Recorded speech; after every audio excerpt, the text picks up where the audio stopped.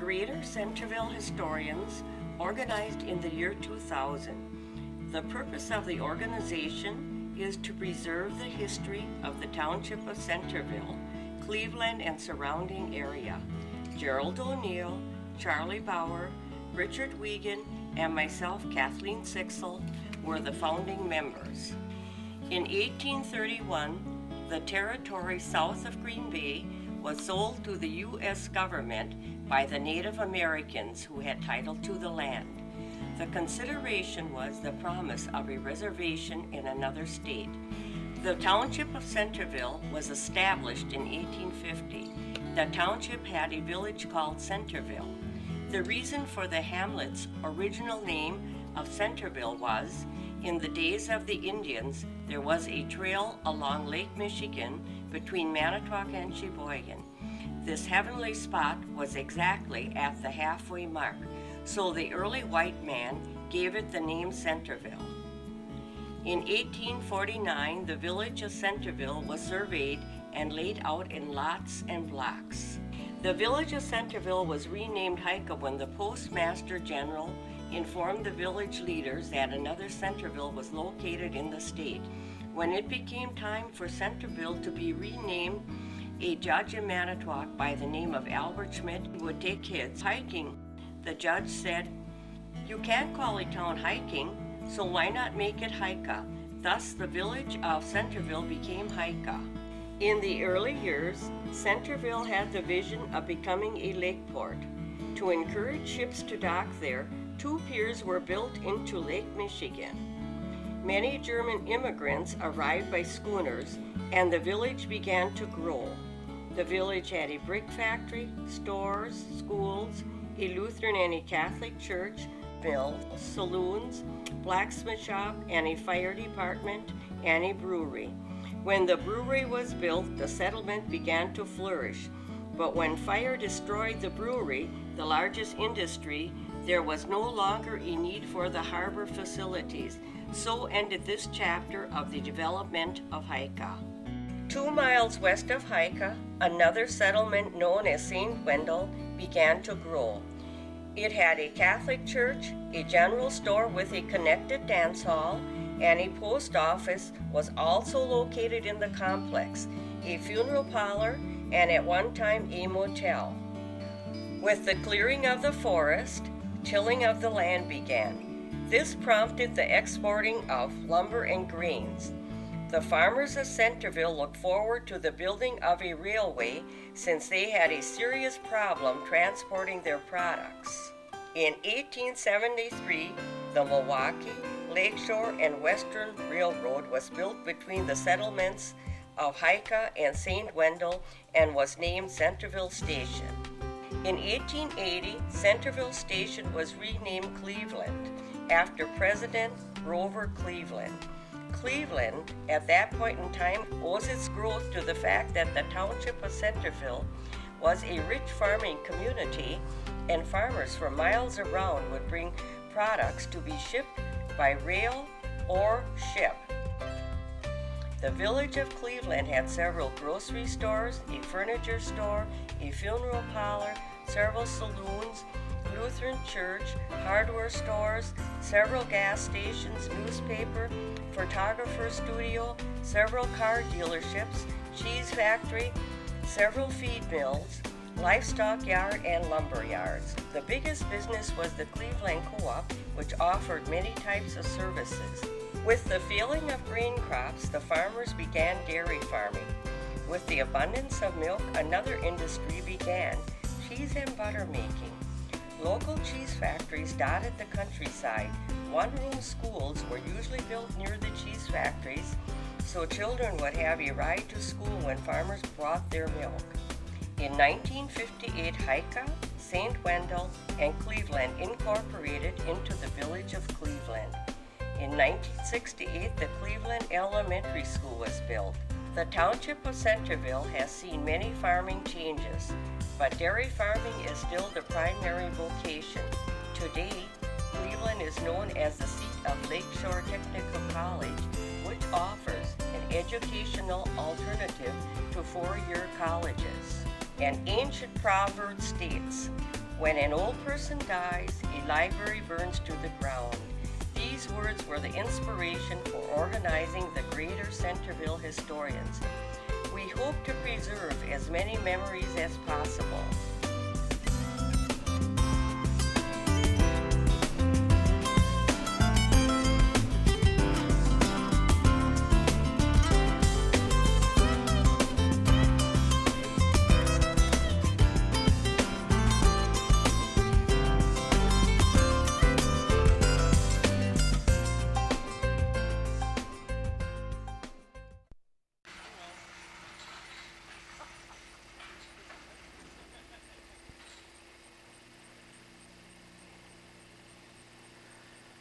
We're here at Bondi's Corners. And this is the famous Peter Bondi's store. That's presently a home and some uh, other things. And uh, the Octagon building is going to be coming through this area to the north.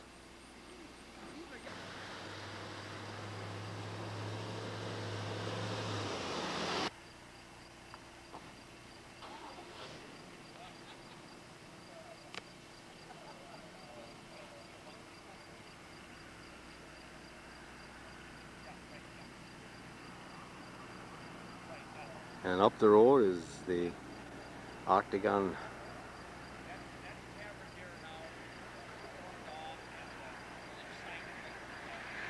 should be about crossing Highway C.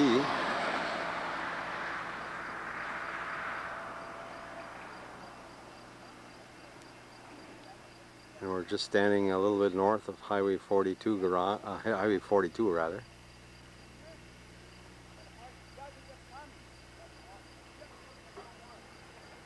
And again, this is part of Bondi's Corners.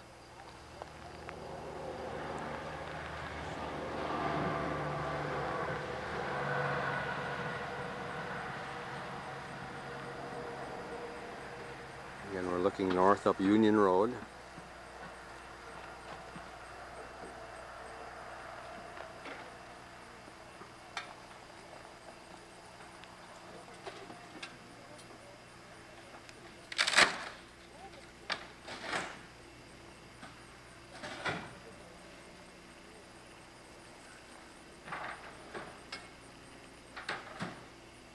Battery problem, but we're back in business here, and Charlie will uh, indicate what we what we're doing here today. Yeah, I put a new battery in myself, so now I can talk some more. we got a truck going by here making a little noise. Okay, good. But we're, we're standing just a little uh, south of Bondi's Road Okay. on Union Road here, and if we look this way, Yes. you're going to see State Road 42, Okay. and then further on down, I believe the Octagon Dance Hall is sitting at Highway C. All right. We're going to cross Highway C and then come north again. And the old road before it was Highway 42 was known as the old Green Bay Road. All right. And if you pan over to the, the white building there with the with the green roof on, Yes, sir. that used to be Elm Grove School. Okay. Then before that it was Newton District number two. And if you notice the, the break in the trees, they're kind of like a V-shaped dip there. Yes. That's where the old Green Bay Road came down. Okay. And it went on the west side of where that mobile home is, on the farm over there.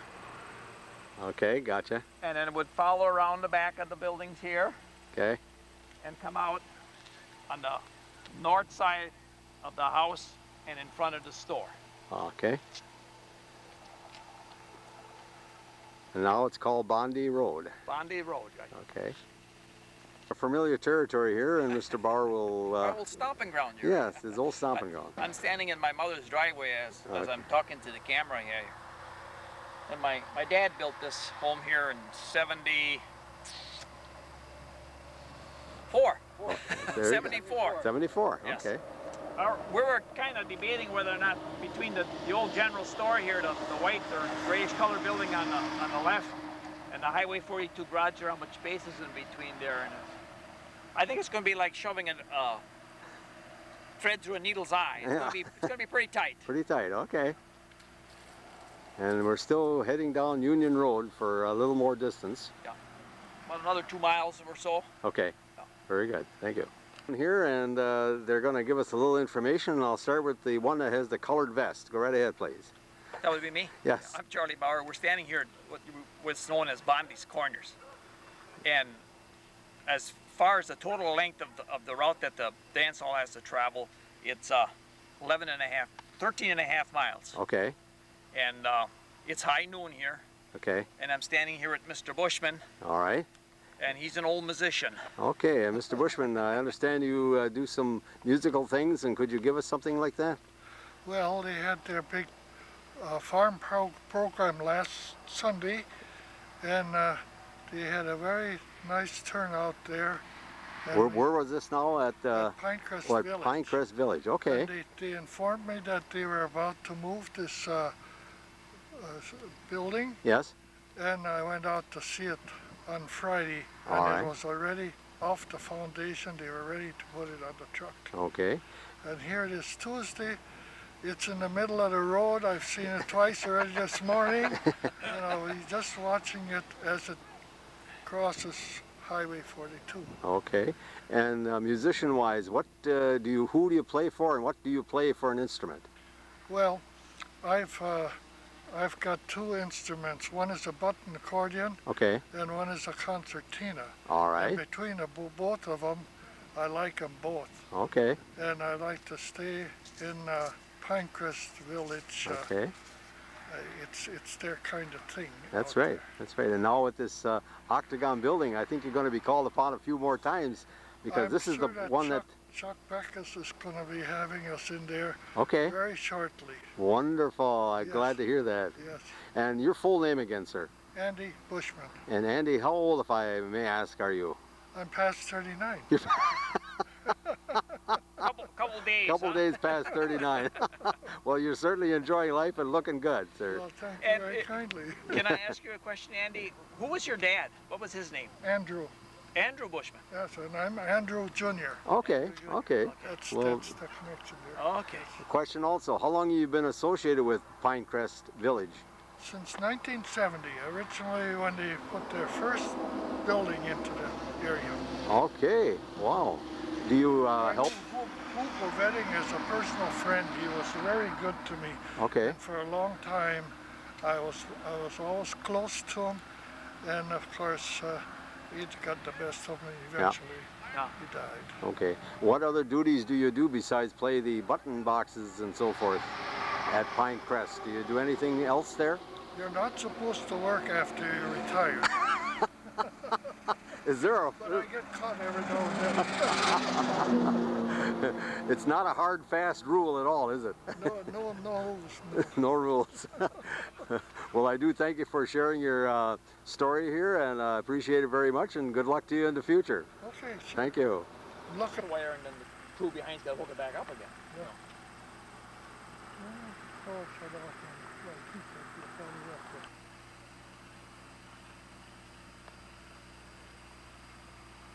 Okay, I guess the patrol cars are moving into position on Highway 42 to stop the traffic.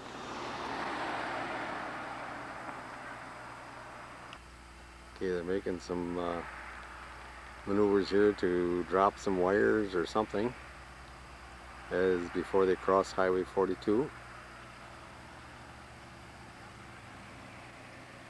Okay, we got Grandma Bauer and uh, Mr. Bushman, and then that's your brother, Charlie? Yes, Jerry. My Jerry? oldest brother. Oldest brother. They're down right on the corner of Highway 42 and Union Road, observing all the activity that's happening here right at this intersection. And there's many a,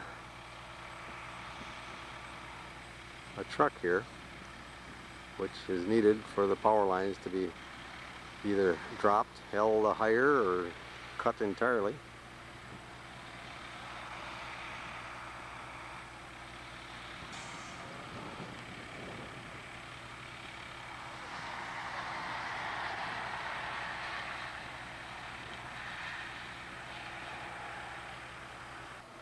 You, you want to read this article? No, no, no. I don't have my glasses, but I just knew that that was some relation to this. So They got a, a whole article on that. no, no, I'll, I'll read it. I'm sure it'll be in the paper. Well, you have some information on it there, Yeah. on this thing, and then we'll have to bother anybody else.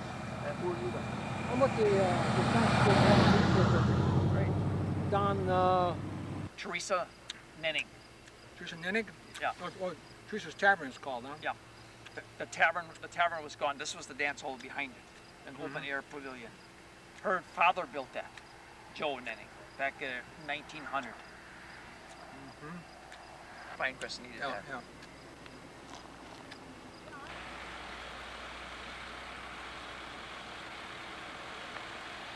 Okay, they're lifting up the wires with the cherry picker to clear the crest of the roof.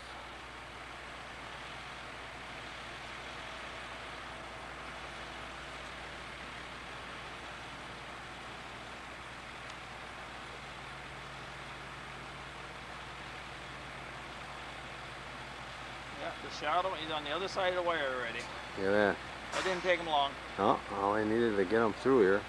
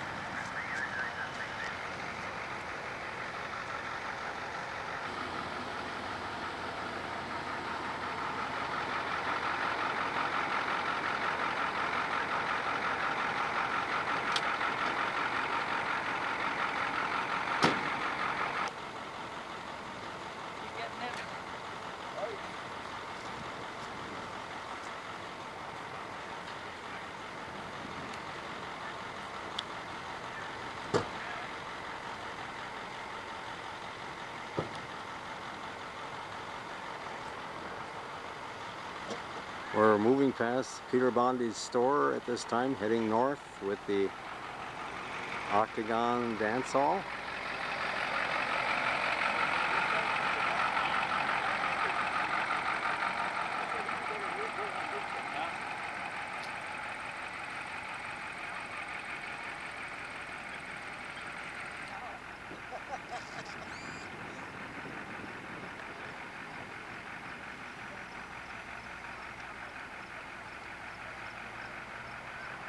Okay, no problem heading past Bondi's Corners. Continues to head north on Union Road. I might add that the Yes. Octagon Dance Hall is probably a little bit older than the old general store there. The old general store is built in 1912, Okay, and we're, we're guessing that this was built around 1900. all right. Two great old buildings. Yes, it is. Very majestic. You didn't get your milk. You went over the top. Here at Bondi's Corner is taking a look at the events today. Mr. and Mrs. Eddie Rosenbauer. Really? Better add retired neighbors, nothing much else Yeah. to do. You better believe it.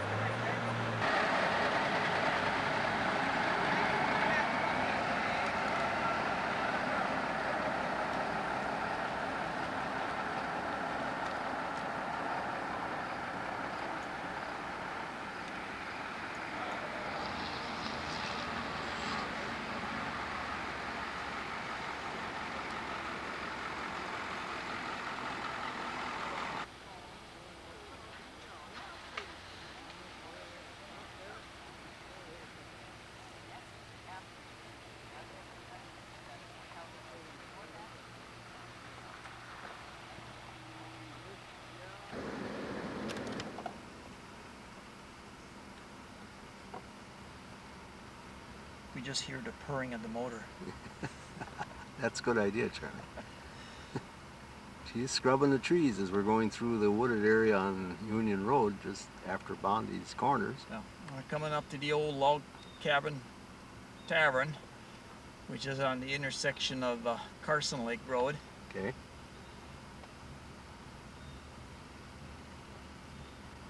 Okay, we're a little bit further down the road here and uh, Mr. Bauer can indicate where we are. Yes, we, we were just down by the log cabin tavern there, and that was the halfway point of coming through the township of Newton. Okay, And we're up at the intersection of Wayhausen Road and Union Road, and here they will be making a left-hand turn, okay, heading west on Wayhausen Road for a half mile until they get to Brunner Road. okay. And it's, I suppose you can't hardly see it down there, but it's just past the trees down there, and then we'll be going to the right. To the right, okay, very good. And behind you, Charlie, is a huge crop of what? Soybeans. Soybeans. Soybeans, yes. Beautiful. They look like they're ready for combining. Yes, they do.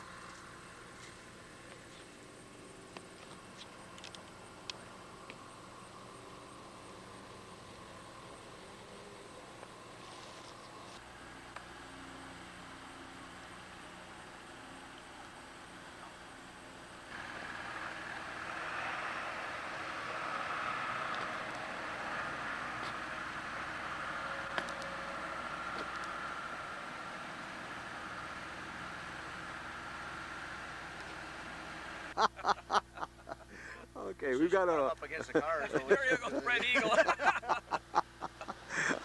Okay, Jason, maybe you can indicate uh, what we're up to today and what your duties are today. Basically, uh, county sheriff's department's involved in traffic control at the intersections for the moving of the dance hall Okay. down in Cleveland up to Pine River Historical Village. Okay, very good. So it And started at about 8 o'clock this morning, okay, and that's basically it as far as we're concerned. Just want to make sure that there aren't any uh, crashes that occurred right, while this thing is being moved. right. People get anxious sometimes and don't realize what's happening or what's coming up. Exactly, especially when it takes up 43 feet. It's 43 feet wide. So it's- really? Oh yeah. boy. So and it uh, takes up quite a bit of space. and Jason, uh, now uh, just a little bit about your personal uh, things, a little bit. Now you, you went to school and so forth. Could you identify yourself a little bit more and where you went to school and how long you've been on on this kind of an occupation? Sure. I graduated from LTC back in 1993, I get 92, excuse me, Okay. and started down in the city of Janesville as a full-time police officer. Okay. Came back up here in 97 Okay. and been working here since then. Been promoted to sergeant last year. Oh, wonderful! Congratulations. Congratulations. Very good. Everything's been going pretty good. Great. Great. No complaints. None that you I want to put suppose you all. We'll be the I first suppose one. everybody could complain, but uh, uh, we don't like to listen to complaints. No, no. Well, No, good. everything's going good. very good, very good. And you live in Manitowoc now, or do you still live out in the country? Or? Live in Manitowoc. You live in Manitowoc. Okay, very good. Well, thank you very much, They're sir. on the way here, so. Yeah, Okay. It goes pretty quick. Thank you. Pretty good. Okay. Yes. we're still on Union Road, and we're coming to the end of that uh, transport on that particular highway. We're about to turn on to Wayhausen Road.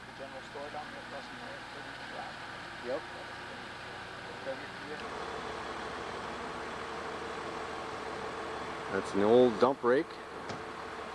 Haven't seen one of those for a long time. Used to ride one of them things with the, not with the horses too much, with the tractor.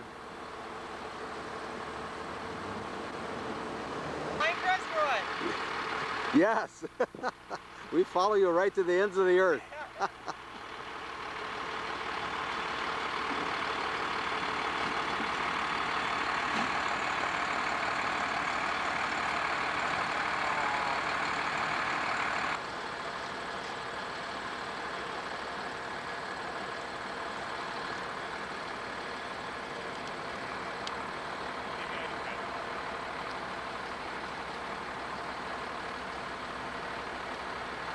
Again, we're on the corner of Union Road and Wayhausen Road. We're going to be making a turn onto Wayhausen Road.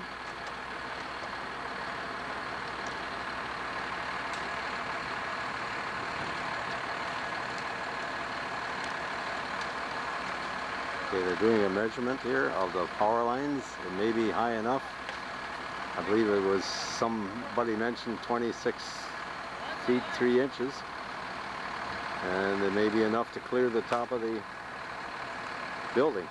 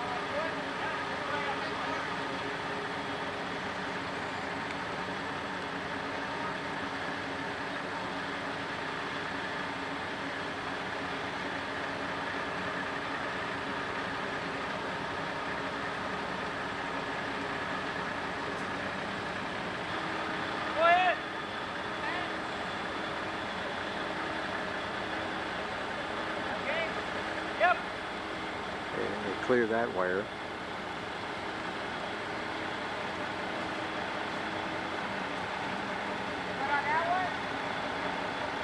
Good. Yep. Okay, they're now on Weyhausen Road.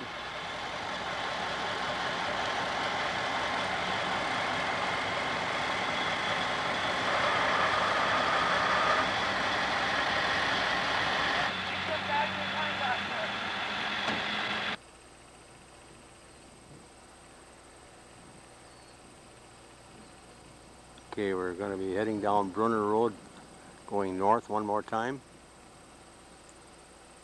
You can see how the the guy driving the truck has to maneuver way on the other side of the road and off to the opposite side just to try to avoid mailboxes, signs, so that they don't need to take them apart. He's got to be pretty, pretty up on things. Of course, he has some guidance from front and back with uh, hand signals, I believe. But we're heading down Weyhausen Road right now, heading west. And Charlie, you got some more information about our location and what's up, uh, what's ahead of us? Yes, we're at the intersection of Weyhausen Road and Brunner Road, and this intersection will give us 10 miles from our start point. Okay, And All we'll right. have approximately one mile left in the town of Newton, all right, and then we'll cross into Manitowoc Rapids. okay. And our next uh, English Lake Road is the crossing road, is that right? English Lake Road is the crossing road, yes. Okay. And again, you, we've traveled 10 miles in how many hours, sir? I don't know what time it is, Jerry. I'm sorry to say. Okay, let me put it on the clock Put here. it on the clock. Okay, it's uh, 137. Uh, we left at 8 this morning, so we got, uh, that? That would be uh, four, about five and a half hours. Okay. Okay, we should be okay. Uh, arrive maybe at 3 o'clock or 3.30. It depends how many wires slows us down. And that seems to be the biggest thing, wires slowing us down. Okay, very good. Thank you, Charlie. Took a view of this uh, stop sign and its uh, road marking because it's coming out of the ground. They'll jack it out of there. We're going to have to move here.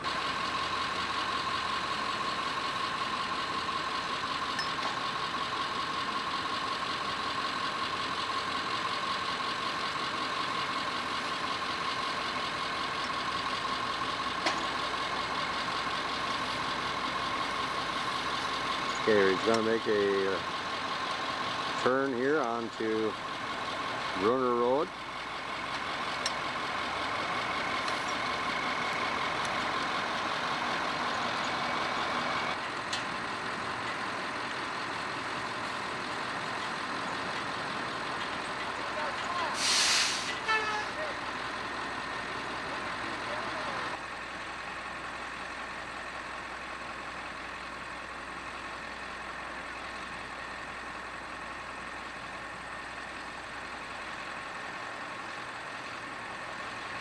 Man, that's a long post. Yeah.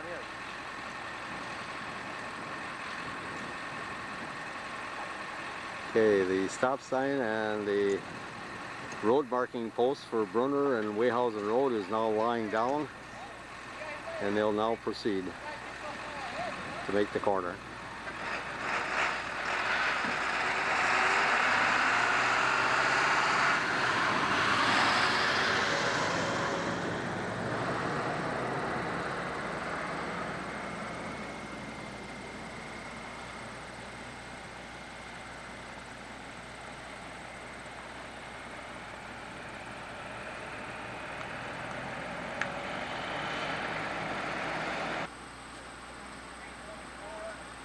Okay, Mr. Bauer is uh, still with me here. We're hanging together pretty good and uh, he'd like to provide some more information as Yes, to my cameraman is now standing at Manitowoc Rapids. And at this intersection here, we leave the town of Newton and we come into Manitowoc Rapids. And we'll have 11 miles of our journey completed at this intersection. Another two and a half to go and we'll be in the backside of the Pine, Pinecrest Historic Village. Very good, Charlie. Very good. And it looks like uh, the the uh, unit is coming down the road way in the background there, looking south. And uh, it shouldn't take them that long because of what, Charlie? We don't really have any problems with. Yes, there's no wires across the road there, and if the, the one that was down there, they got down already. So it's a, it's about a 10 mile an hour speed, and they'll be here in, in a few minutes, I would think. Okay. Not a lot, Ben. Not a lot, Ben. Maybe I got some gas. Any, anything else you'd like to indicate here, Charlie? We, uh, the next road we're going to be crossing would be what? Oh, good question. Uh, we're One- going down to. Uh, 151? uh, good question. you got me stumped, Joe. Okay. I didn't think we're crossing 151, but we might. We're going to have to. We I have think. to, I think. We have to to get on the other side, and I'm on the wrong page here. Okay, just one moment then. On, Charlie. Okay, then we start down here. All right. Okay. This is where we are right now? Wait a minute. You're not running, are you? Charlie? This is English Lake Road right here, and this is the intersection we're standing at. Brunner Road runs this way. We got one mile left, and then we're out of Newton. Okay, very good. Thank you. At uh, 1841. You may disagree. I don't know. Moving right along. You really made time on that particular section of road Or should I change it to have him call you? Oh, I'm sorry, he doesn't have a between. Weyhausen Road and English Lake Road. phone? Made a real good time there.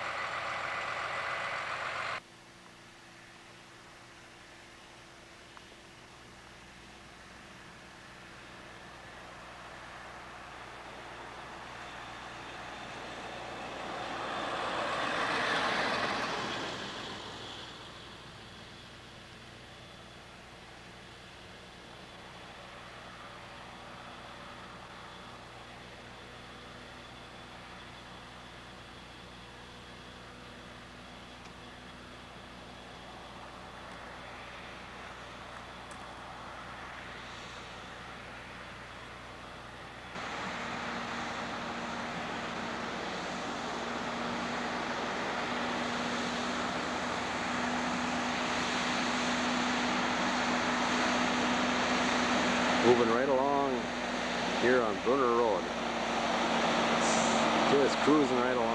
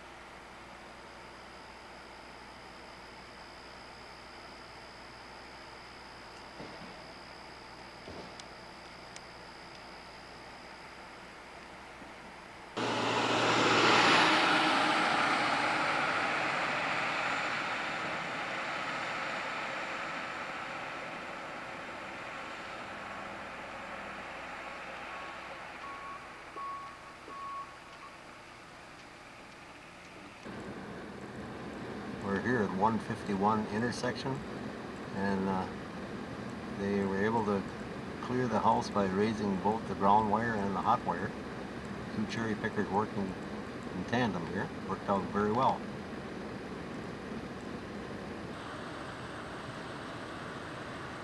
We have a time on here. That's good.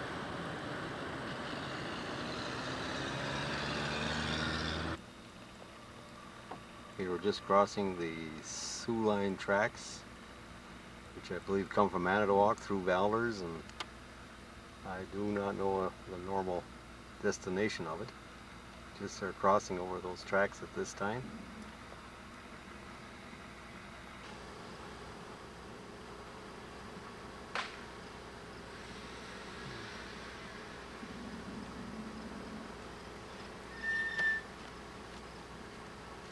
Got a tree.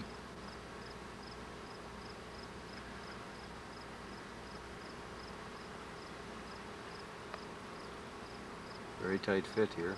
He's over as far as he can to the, my left. He's running a wheel right on the shoulder. Yet we're scraping trees here on this side, right on the corner of the building. Looks like things will make it okay.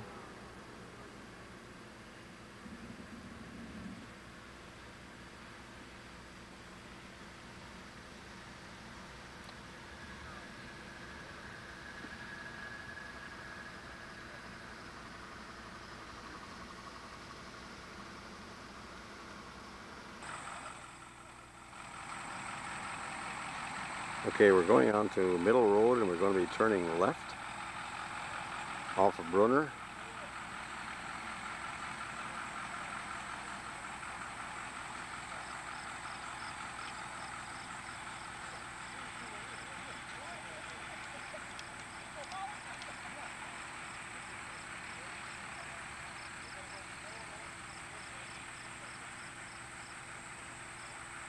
I think they're going to just try and raise the power lines again.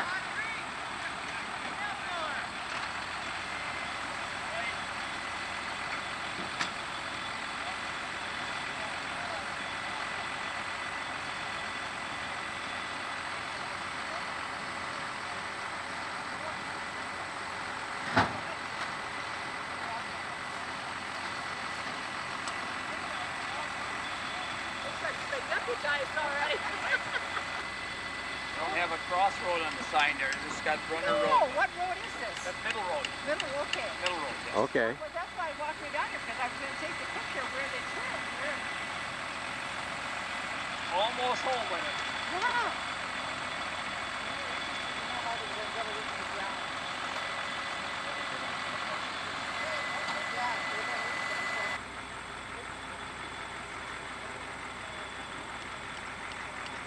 This one's a little bit more complicated. What about that blue wire there? What is it? Is that That's just, that's that's just a the ground. guy- That's just a guy wire or? No, that's just a ground wire. They'll probably loosen just up there. Some of them they just cut and drop down. That one's a, Two folks here who are following the procedure as far as the uh, Octagon House or Octagon Dance Hall, I'm sorry.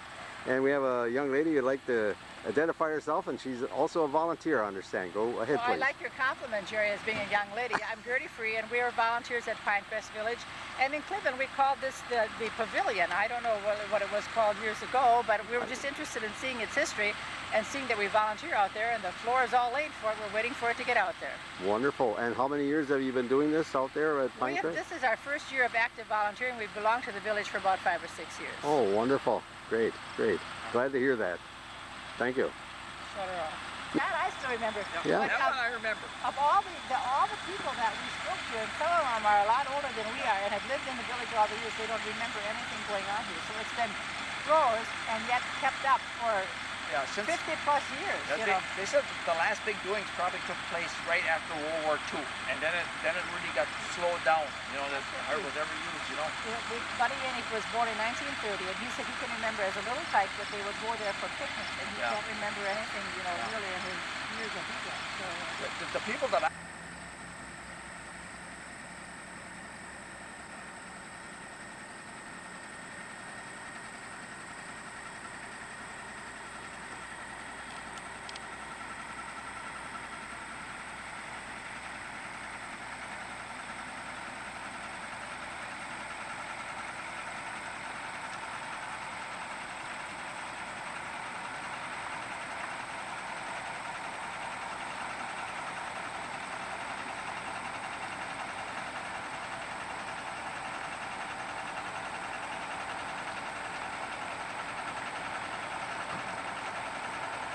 make that turn with very much ease.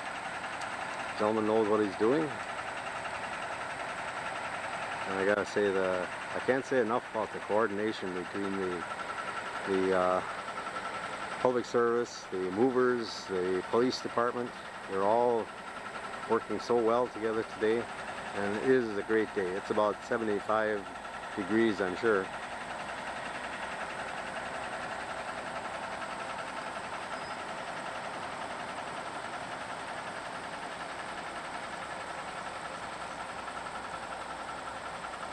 Finally turning onto Century Road, I believe, on the final phase of going to Pinecrest Village.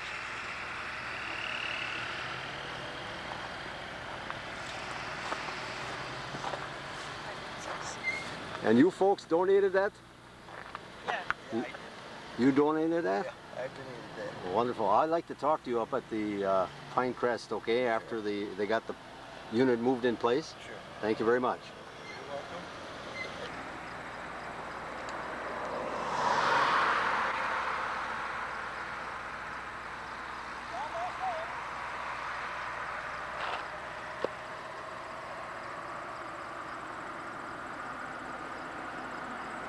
Heading up Century Road.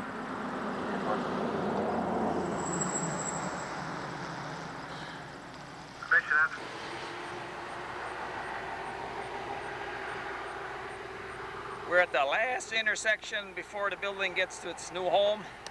We just turned onto Century Road here and it's heading north. We can just catch the end of it going over the hill here. And it won't be long, we'll be at the Pinecrest Historic Village. Very good. It, was a fine trip so far, and I'm sure the remainder will be just as great. And we're really looking forward to seeing where it's going to be uh, seated for the many, many years. You betcha. Thank you. Okay, we're so close to contact here. We got a gentleman pulling away at the sign so that it would clear the sidewall of the building just by eighth of an inch. Yeah, at least. Thickness of a mosquito. I gotta say, these people that do the moving, they are very conscientious about what they're moving and uh, try to maintain its integrity all the way.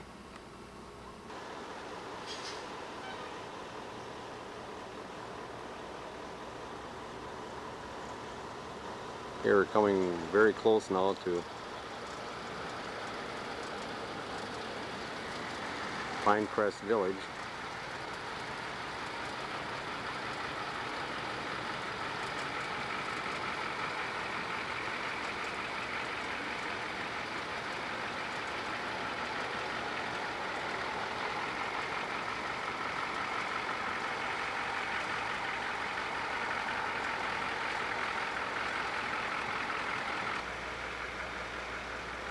Again, they cleared the wire okay. Maybe that might be the last obstacle till we get into. Okay, this is the entrance to the field.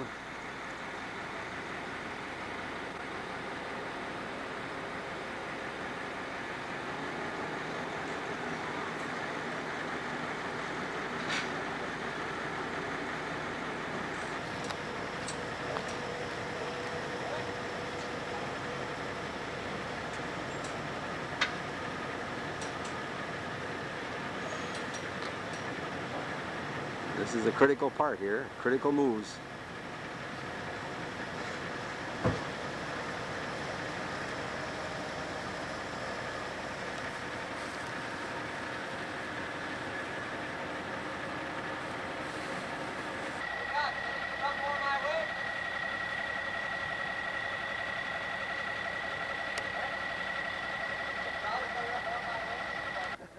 We were just checking to make sure these weren't three bulls. We just stepped into a pasture here full of horses. The last one's a nice Belgium. Okay. They don't seem too uh, too lethal. A little inquisitive.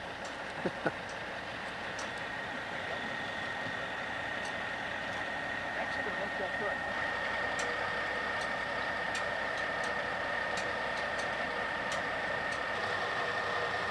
These are the critical tires that have got to make the curve.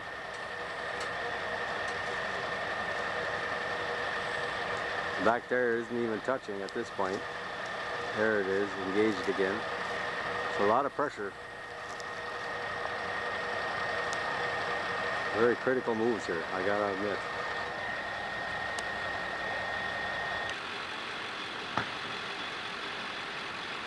Now we're in the lane in the field here. It's a very tough course, I have to admit. This one is a little, a little tough. The trail we have to follow, and uh, it's not an easy one either, right at this time where the trees are to my right. They kind of force you over, and there's a ditch on the left. So it's kind of touchy. There's no easy route here.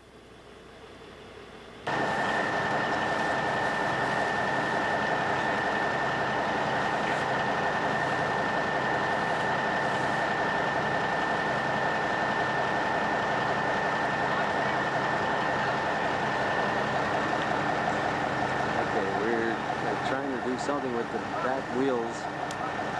If we can them a little bit to get the rear end over and support it because this is soft ground they're coming onto.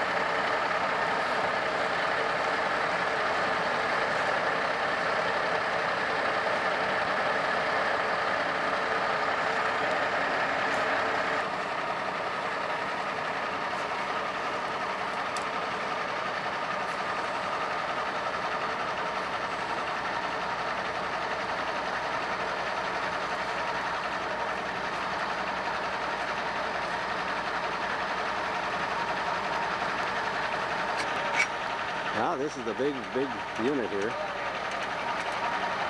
And it's a small lane to go down. Made the curve okay, so they're safe there.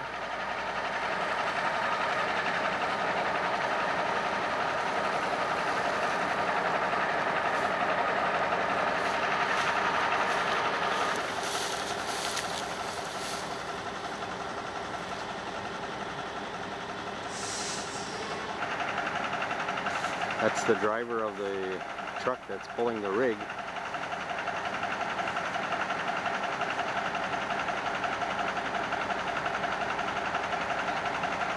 So clearing the way.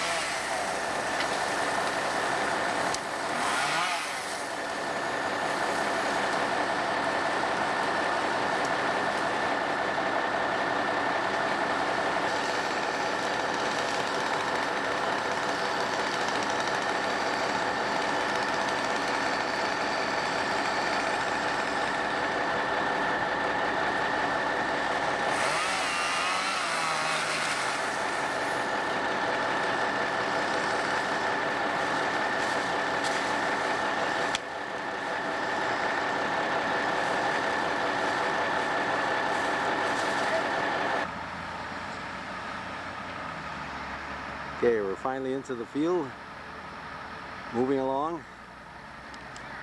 and it's 3.49 p.m. Honda, she's here to photograph a few things. Her husband Don does some marvelous work here from the reports I've been getting. So everybody's looking forward to this. Time, and they do it well.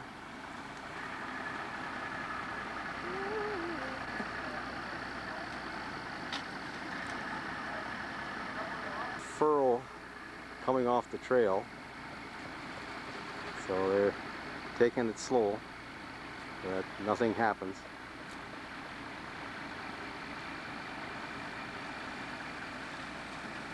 Looks like everything is straightening out. The Sign says we're now on our way to Historical Village.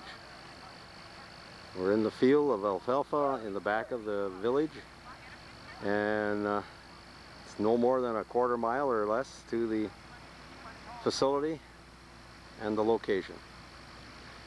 And Mrs. Yonda and Mrs. Frey are walking through the alfalfa field back to Pinecrest Village. Looking good, looking good. Great sight. Charlie Bauer went way ahead already.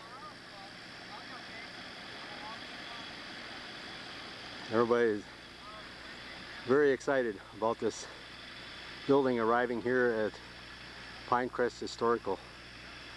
Coming in from the back area through the alfalfa, nice and smooth.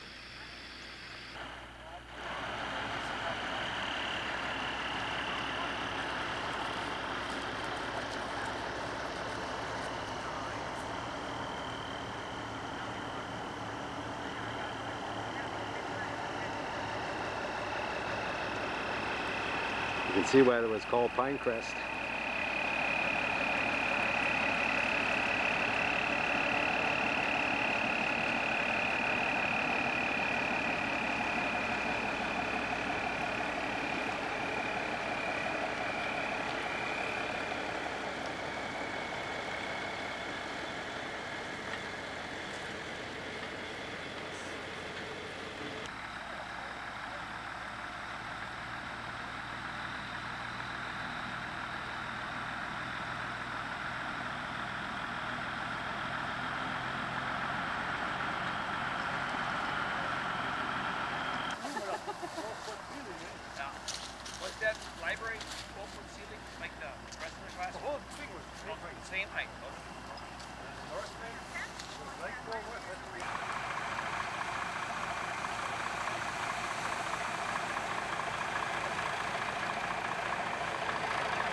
Ed Frey here?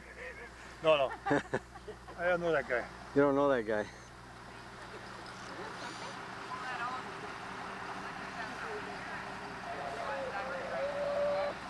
They were glass capped now. When you're facing east, you're standing in the library door facing east, there's two windows on the right hand side. Now that the, the wall on the north And this is a view of Pine Crest from the field. Isn't that beautiful in the sunset? Mm-hmm. Oh, We've gotta get you to join. oh, Robin on top of that. You don't have to be active, active. active, active. Yeah. Oh boy. Well, I know it's uh, it's a nice place and it's uh, got so much tradition. Don loves coming out here. I bet it he so does. Peaceful and quiet. And Oh, I tell you. We're here at Pinecrest Village at little after four in the afternoon on October 7th, and we've watched the historic movement of a, a octagon building to this wonderful location, and uh, we anticipate it to be uh, used many, many years in the future. And uh, a lot of these people are very anxious to see it come upon this uh, this hallowed ground, I'll call it. Thank you. And I gotta turn this way, Yeah, well, you've got to. spin my wheels around, Yeah. and then we back right in. Oh, okay. All It's, right. uh, you know, it's neat tomorrow. Yeah, it's, it takes, takes a lot of maneuvering. We gotta pick up all our equipment at the old site tomorrow morning, and then we'll be right down here tomorrow. See what we can get done. Otherwise, I'll run towards Thursday maybe. I'm hoping Well, day they're Thursday. planning on bring- bringing the bricks, the, yeah, the bricks are planning on coming. They should have saved it somewhere. Yeah. 1940s tire. Come on. There's some history behind it. They, they, they had a historic place there. It was thinking about that. They couldn't get the thing together. I don't know what I'm doing. We have Mr. and Mrs. Ed Frey walking back to the historical village. I think if you check under the tree where the people are standing, I think that's right where the cement platform is, to where the building is. who uh, is involved with the uh, Pinecrest uh, Ventures, and she'd like to identify herself and give us some information on what we were looking at.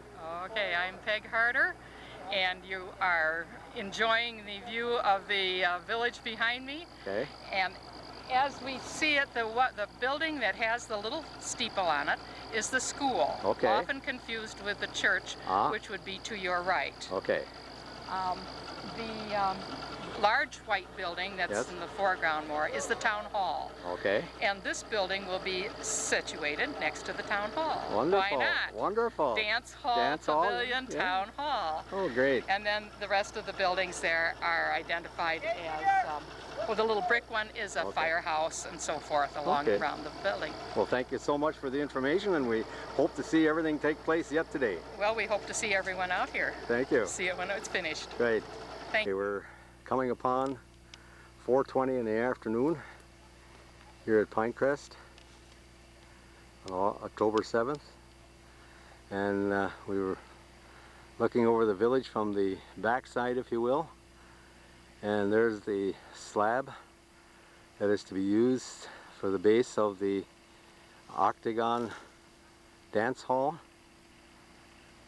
It's a beautiful spot up here, I'll tell you. And you can see why they call it Pine Crest. Isn't it? You look around that whole perimeter. There's pine trees on all the crests all the way around. That's right.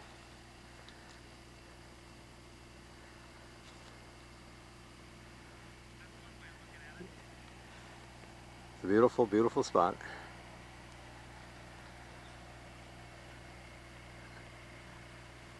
And it should be coming pretty soon.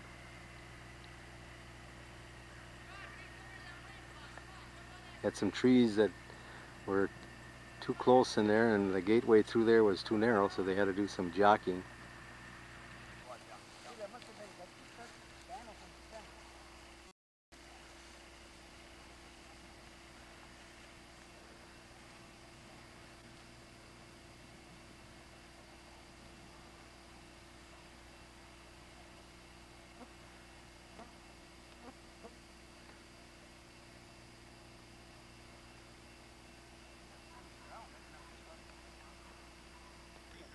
Okay, it's a beautiful fall day and we have Mr. Bauer here on the cement platform and he'll describe a little bit more about it. Go right ahead.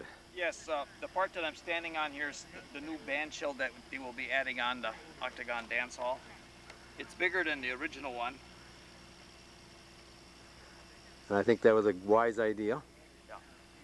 And one of the pavilion doors that is on the existing building would have been on this octagon here, Okay. on that facet, and the other one would have been up there where the gravel is there. The- the- Oh, and okay. there, there were double doors that open. Oh, okay. They weren't hinges, they just Okay. opened in the center. Very good. And we're just awaiting the uh, Arrival and the crown jewel, if you will, to come in here. It's getting quite close. Are, are they coming now at all? Yes, yes. They're starting to move. Pretty soon they'll be in your back pocket, Jerry. Oh no! Yes. Thank you. The problem at this point in time in the in the afternoon, we're moving fairly steady now through the alfalfa field up to its location.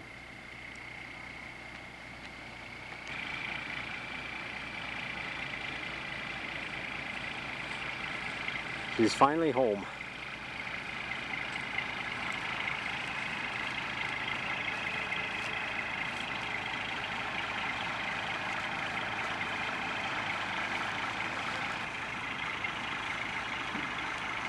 And Jason has been working hard all day. He says there's no problems, only setbacks. I like that saying, Jason.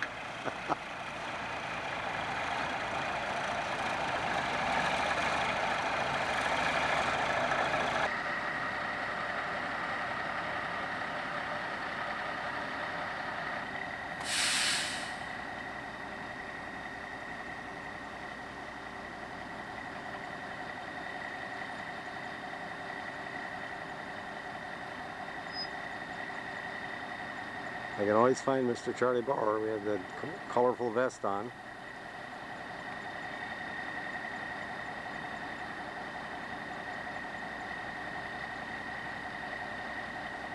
was in the car and watching a special event and she'd like to identify herself and provide a little bit of information. I'm Ruby Leroy Ertle's wife, who donated the dance hall. Okay. Well, I've always seen it there, but I didn't know it was such an historical until I hear more about it now. Right. I didn't realize it either until a couple of days ago when Yeah. I heard the news from uh, one of the ladies in Cleveland and uh, uh, she said the things are happening. I couldn't believe all those huge stones. I said, when you think of it, they must have been put there by horses. And so they must have. They, That's all they had to work yeah, with. huge. I Yes. s- Yes. Too bad we have to bury them again. I said it. We should find a nice place to put them in the garden, but they're so heavy. Yeah, right. Yeah. But it, it was a wonderful uh, thing that your husband did to donate this uh, to the historical group here, to Pinecrest. That's a wonderful, wonderful gift. We'll have to come in here after a while yes, they- it out. there's so much excitement about this building. They're going to really go at it and have a lot of occasions here, so a person can enjoy it, I guess. That really would be nice. Wonderful. Well, thank you very I much. hope they enjoy it. Very good. Thank you. Okay. And I'm a friend of, I was a very good friend of Teresa Nennig. Okay. And she was the daughter of Joe Nennig, her, her father. All right. And uh, he was the original man that had this building built. I see. And when Teresa was born, the building was already there. When she was five years old. Okay. She said the building was already there. And uh, and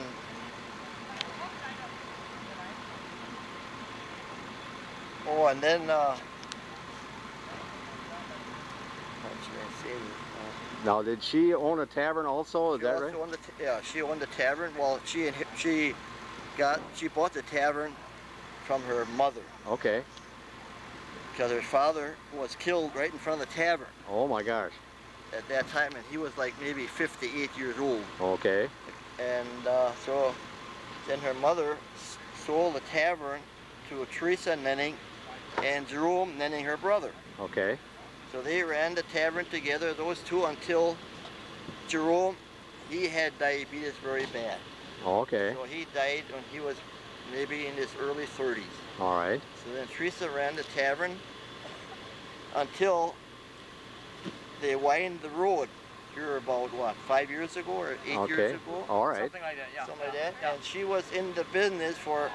She said she was uh, in the business the longest of any tavern keeper in Manitowoc County, Okay. which was maybe 60 some Wow. years.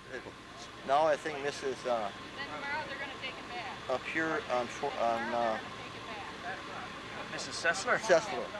Okay, Now, I Mrs. think Sessler, yeah. the oldest Yes. lady Okay. tending bar or owning a tap bar. She Okay. does tend bar too, yes. Yeah, she does. huh? yes, yes. yeah. Okay, and uh, and Teresa told me, like, the society was after this building years back. Yes.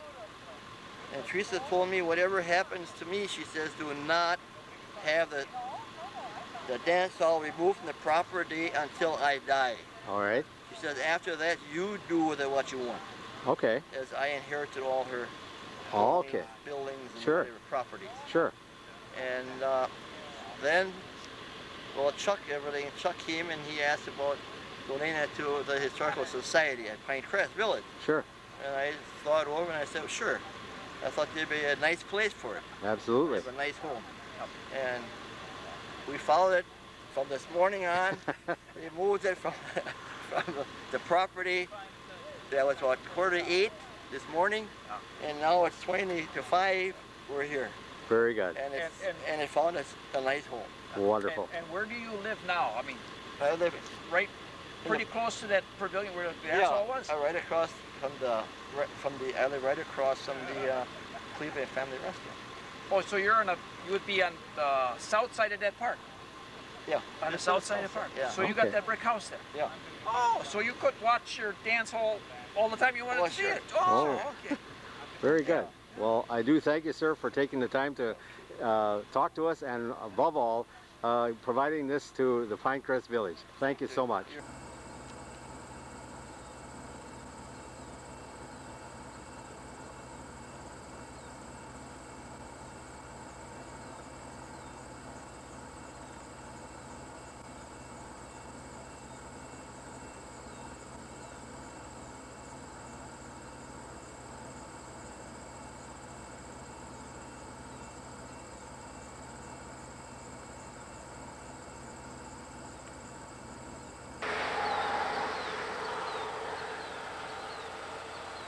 We're here at Pinecrest Village to view the Octagon Dance Hall that was removed from the Cleveland area to Pinecrest uh, Historical area and we're here to record the location and uh, things that might be happening to it to get it ready for possible use next year sometime.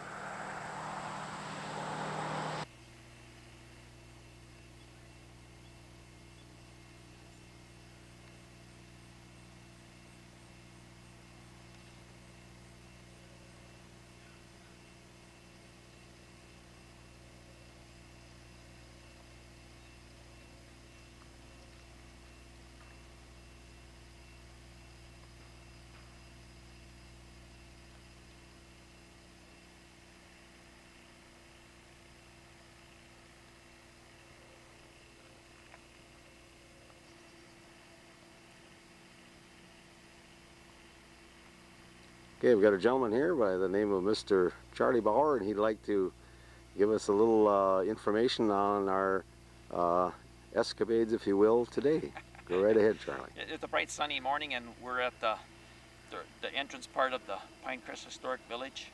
And we're here today to, to look at how they're gonna situate the, the old Octagon dance hall that made its way here from Cleveland oh, two days ago or so, and, and we kind of followed that around, and we're, we're just here to kind of finish up to see how they're going to situate it in there, and, and if they're going to make any adjustments or changes to the building, and we're going to see if we can find somebody that's going to be working on the building that we can kind of interview and talk to, and we notice way in the background there, up there in between the church and the school, you can just catch a part of it through the through the trees here, and it is just a gorgeous grounds here this so peaceful and quiet. Yes, it is, and it uh, a lot of people do make comments about this location, and the name is very fitting for this uh, location too. Pine Crest. Right. The trees are on the crest of the hill all the way around the park. Okay. Well, we'll proceed up there and uh, uh, see what we can uh, obtain for additional information to end the videotape then. Thank you, Charlie. Sure.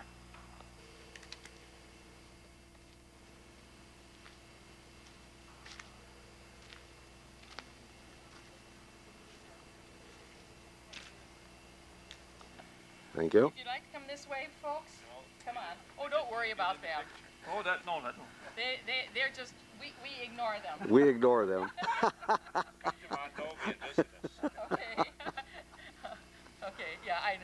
Look at the squeeze. Oh, yeah. Oh, yeah. Where was this? This was. Bonnie's Corners.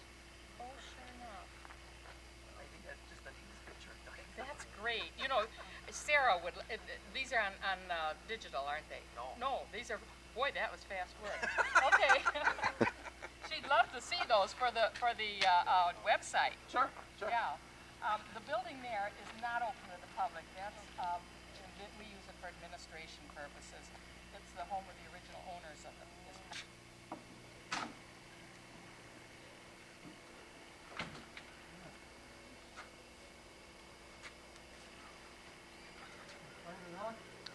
We're here to observe the Octagon Dance Hall in its location here at Pinecrest.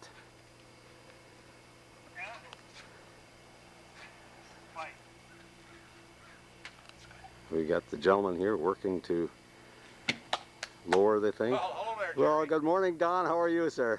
I'm just fine. How are you today? Very good, very good. Boy, you you're really tying into this baby.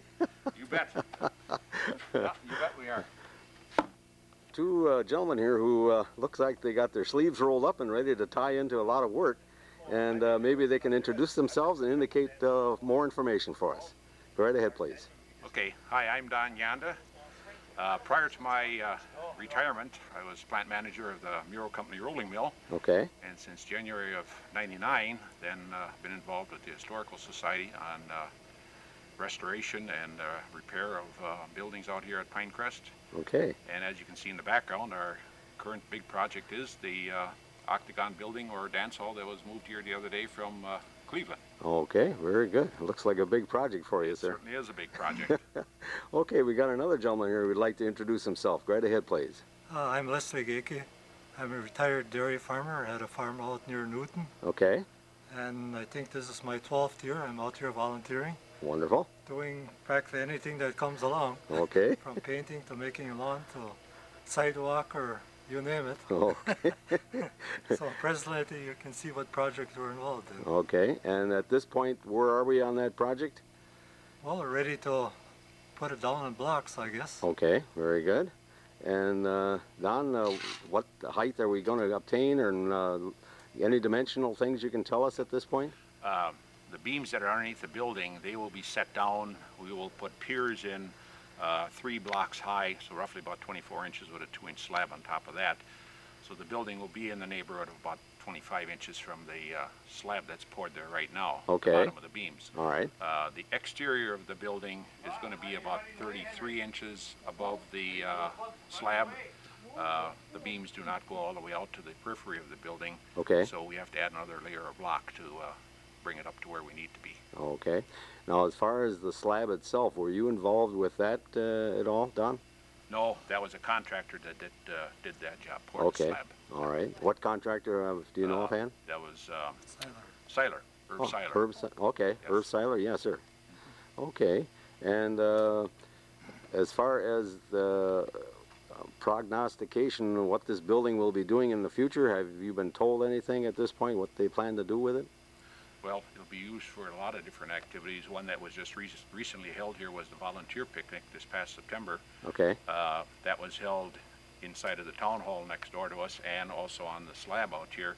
Oh. But certainly uh, in the future, those activities can be done inside the building. Sure, sure. Um, there's other activities. Uh, Harvest Festival, as an example, will be another one that'll be uh, the building will be utilized for. German Fest is another one. okay, So Okay. there's a lot of uh, opportunities out here to use the building and have a better facility for these type of activities. Okay, very good. I noticed on the, since we followed it all the way here, that one area was sort of opened up or uh, removed. Uh, do you know anything about that, Mr. Gagey? Well, I guess that was the prior stage area, Okay, which was quite deteriorated, right, Don? That's right. So that'll have to be rebuilt. that'll be rebuilt by you gentlemen to take care of that? Yes. Okay, very good. And uh, do you have any kind of a timetable as to when this might be finished, or is it as much as you can before winter sets in, that type of thing? Don, anything on that? The only time element that I heard so far, and there's nothing official, but uh, it looked as though it'd be about two years for completing the restoration. Okay, all right. And uh, not official or anything like okay, you, you haven't written this in concrete on the slab, have you? okay. So are, are the original eight by eight timbers that go across, are they all gonna stay? They will stay, that is correct. They will stay? Yeah, yeah, except two of them that we're repairing and replacing. Or I Okay. should say replacing, All right. Uh, Bad.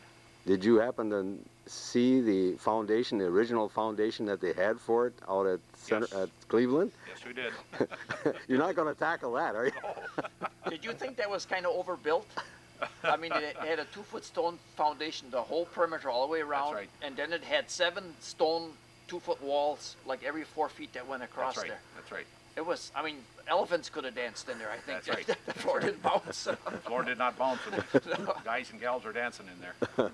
By chance, did any of you people have a chance to dance in that dance hall? That, that has to be more than 50 years ago since it was used. Okay. Yeah, see, someone I said remember back 50 years, and I don't remember it being. they Okay. thought like around World War II that was kind of That, the, that'll be it, yeah. Okay. Have you ever uh, observed it as you drove past Cleveland at all and uh, wondered about that building at all? Well, I know from it, I used to live about four miles north of there. Okay, okay. I worked in Cleveland for a while, so I passed it quite often. Okay. I also remember Teresa Nennig. Okay. Owned it, the. Okay. Did you stop in at the pub there once in a while? Sure. Okay, very good. I guess she was quite a lady that kept everything up pretty well as far as clean and uh, very uh, well-run area. Yeah, I think so. Okay. And uh, other occup- things of uh, that have taken up your time here at the Pinecrest uh, facility. What other buildings have you been working on, Don? A lot of different ones. A lot of repairs that were made this, uh, this summer. Okay. And, uh, you know, one was the uh, depot, there was some repairs that were made on that. The uh, locomotive repairs to be done. Oh, on that. really? Okay. Roof repairs. Yes. On different buildings. Okay. Uh, So How it's a case that you get involved in everything, that, anything that needs repair. Did you get to work on the general store? Because Yes, they, they had yeah. ribbon cutting back here a That's couple right. weeks ago. Yeah, Les was in there a lot, John was in there a lot. Okay. uh, Working on that project too. it It- was that an original tin ceiling you put in there? No. That was, uh, It was a galvanized ceiling. Was World War II galvanized. Okay. Tore that down and then we put this pressed ceiling up, two, two foot squares. Oh, okay. Oh, as long as we got you going here, sir. Uh, can I have your name, please? John Kambalik. Uh, John, uh, where did you work before you, uh, when you What do retired? you want to know? I just like to know where my tax money is going. I'm retired from the shipyards. Oh, okay. Okay, boy, Before that, I had four years in the Coast Guard. wonderful.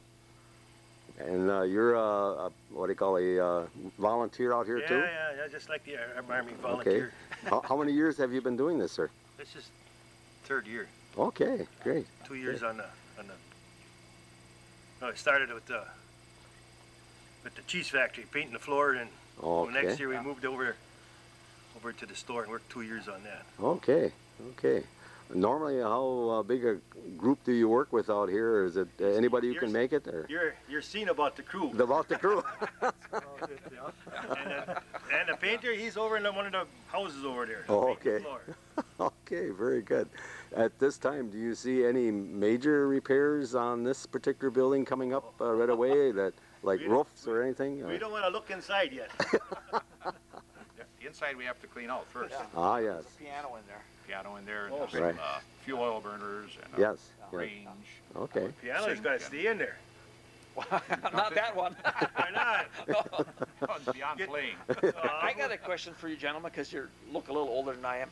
Did anybody ever see that kind of roof system before with that octagon post and the way the Well, that, rafters are that's, supported? if you go salty here, down Belgium, you'll see octagon barns.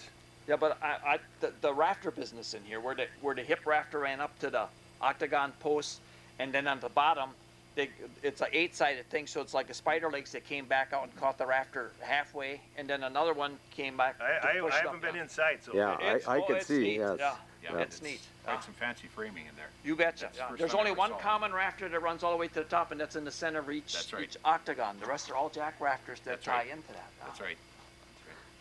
Yeah, w- Yeah. We observed it uh, just prior to the removal, so we got in there, but it was pretty noisy. They were ratcheting uh, bolts and everything into the thing, but we had a chance to see it uh, cabled together and so forth, so it was quite impressive. But uh, again, gentlemen, I have nothing but gratitude to you guys for taking your time and uh, restoring things that are very nice and maintaining them so everybody can enjoy them too. I, I got one other question before you put your off No, button on, no Jerry. problem, no problem. Does anybody ever remember, was, were there wood shingles on this building? Must have been at one time. Uh, That, that's, a- that's so. a, that's about a twenty-year-old shingle, that's it. There, yeah, Ted, copper. Ted Bondi put this roof on when Bondi was Okay. roofing and that. But, but the inside roof boards are tight together. There's no spacing in there. Oh, So that, okay. that shows that there's no, if, if you rip this one off, you would think you would see nails from wood shingles, but Yeah. I was kind of checking, before asphalt shingles, they had asbestos shingles, and they were popular until about 1900. And this building goes back to about 1900, so we're thinking maybe they had that kind of shingle on before the mm-hmm. asphalt Well, shingle got put What, on. what, what shingle, asbestos?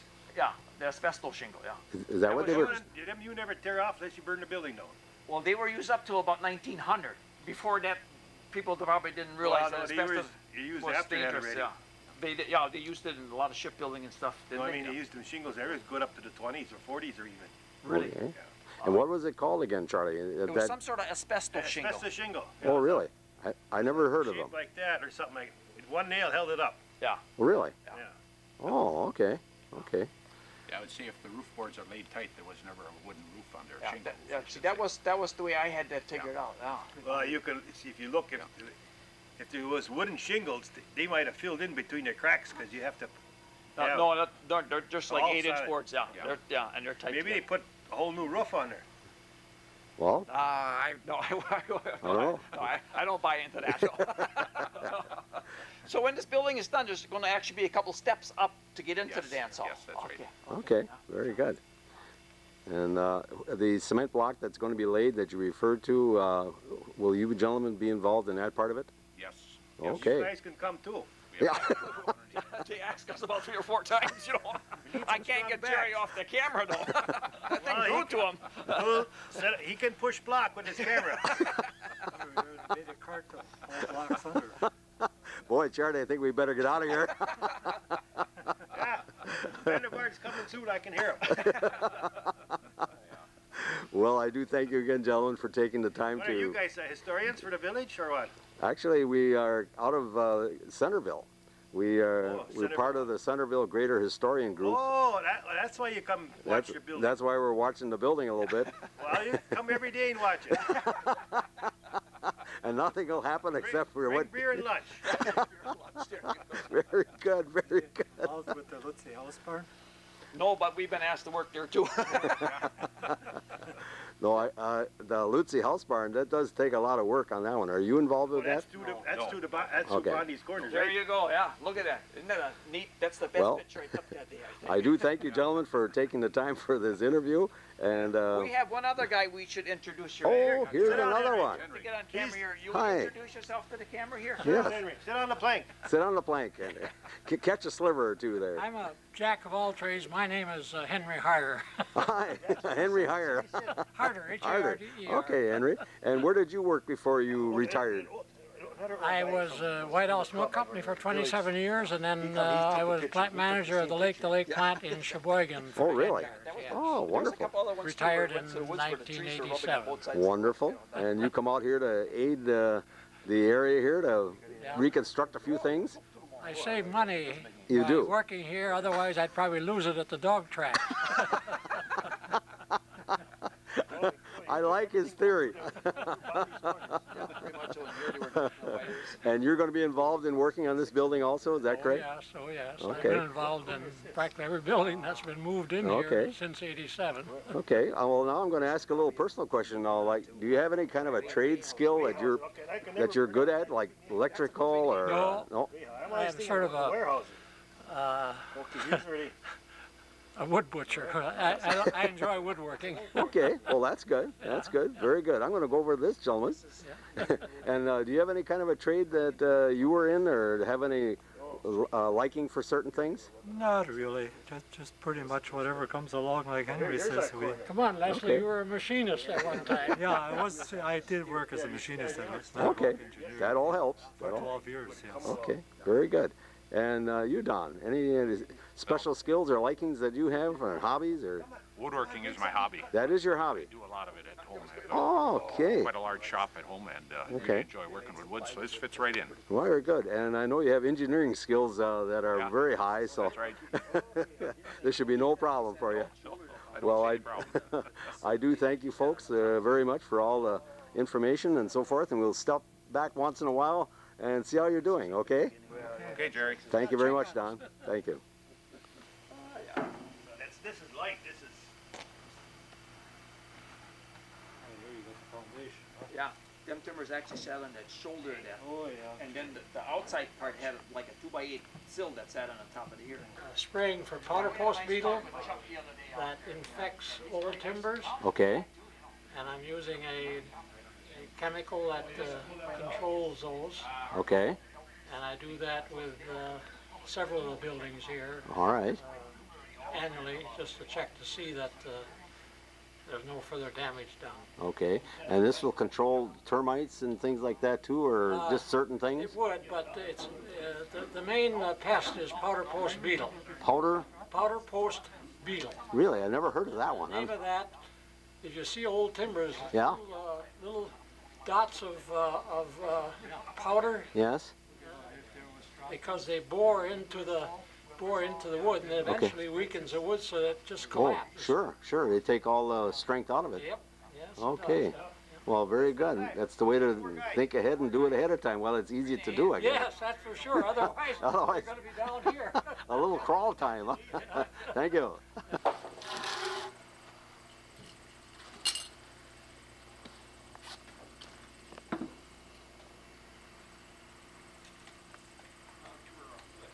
Which way you wanna roll it? Yours lead back.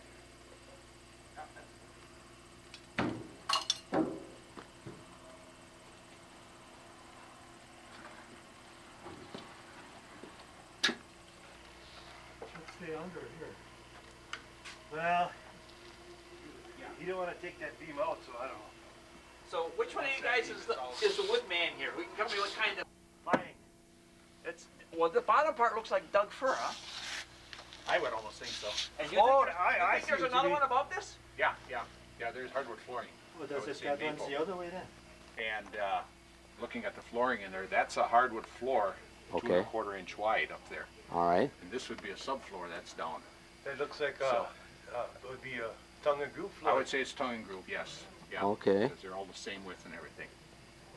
All right. So that's, uh, that's what we're going on right now. All right. And maybe later in the day, we'll have the doors opened up, one, one set of doors opened up so we can start getting uh, stuff Okay. out of the inside on it. Now this uh, tri tr- three ply timber uh, boards here, Yeah, two by sixes. two by sixes. Uh, what the purpose of that would be? What now? That- Replace, replace a beam. Yeah, they replaced beams. This is Oh. a replacement for that one over there that was dragged out. Okay. This one right behind me over here has to be replaced also, and the new one is right back here now. Oh, okay. I Those can see what you're up to. Okay, very good. Okay, excellent. Um, those are replacements for bad beams. All right, very good. Thank you. Little discovery here. We're on the exposed end of this building, and Don will explain what we have here pertaining to that area. Well, for the flooring in the building, you have a subfloor, which was a tongue and groove subfloor that was Okay. installed first at right angles to the joist. On top of that is hardwood flooring, two and a quarter inch wide by three quarter inch thick hardwood flooring. Okay. That's laid at a right angle to the subfloor. Oh, okay, okay. And thickness-wise, what are we looking at there, Don? Uh, Quarter inch. Three quarter inch. Three quarter inch? Yeah. Okay. Three. Now you say that it's kind of unusual to have a tongue and groove on the subfloor? On the subfloor, yeah, that's, that's kind of unusual. Okay. Yeah. It's kind of strange the way that's in the middle there. You get the rafters going up and then there's a little. Well, I never, I never did see. I never did see. Yeah, there- there's real rafters going. What do we got for uh, information? I get, I could show you here, this would be the thickness of the stone foundation, Okay. but where they cut this notch out of this two by four Yeah. Stringer that went across here. All right. And this is the sill plate here. So- Okay. So the wall actually came out to here. Oh, okay. And if we go on the opposite side, you you see which way the timbers run, you could almost see where, where that shoulder would be, that stone shoulder where the timber would sit Yes, on. yes. Okay. Very good. Thank you. And this is on the um, On end the of the, perimeter, this would be on the perimeter all the way around. all the way around? All the way around. Yeah, Okay. Wherever, wherever the, the two by fours ran, they would have been notched out like this to accommodate the, the space for stone wall and your sill plate here. Okay. Very good. Thank you. Who is uh, describing some information regarding to a beetle that has been working on this beam here and causing some problems. So what uh, is that beetle called again? It's uh, called powder post beetle. Okay. The name comes from the fact that it makes it makes uh, powder as it as it makes real small pinhead size holes. Like there's there's one right right here, Okay. and here's some more of that of that uh, powder, uh, wood powder. Yes, yes. And uh, the uh, that Dursban insecticide uh, controls that. Controls that. Okay, well, that's important to have that done, I guess. Yeah. And this is the beam that was originally underneath the building. Yeah, and it's deteriorated to the point that they're, that's the new one that they're making. All right. Okay. That's all part of restoration, I guess, to get the best in in. And Uh, these were originally, these were originally old barn timbers that came from a barn somewhere because you'll see that, you know, the tongue yeah. and you'll see the, uh, The, the, yeah, the mortises and the holes. Okay. Actually was in a barn at one time. Oh. Okay. All right. Yeah, that's what they used to do years ago uh, with the wooden pins. Is that right? Yeah, that's right. Okay. Good. Why, why was the, why were the benches on the dance hall, why were they elevated off the floor? What was the purpose of that? Sit down between dances. So the Yeah, Why, dancers, why elevated off the floor? I don't know. keep, I- the, keep the dancers away from the people sitting on the benches, huh? Oh, oh, oh, I see. I see. There was a platform dinner bench. Yeah, the bench was sitting on the platform. It wasn't on the oh. same Oh. level as the dance hall. I was told Too because when a lady steps down, she makes her look better. Oh. That's what somebody told me. I don't know if that's any truth to that or not. You ask. You gotta ask some old guy. Carry on, I guess.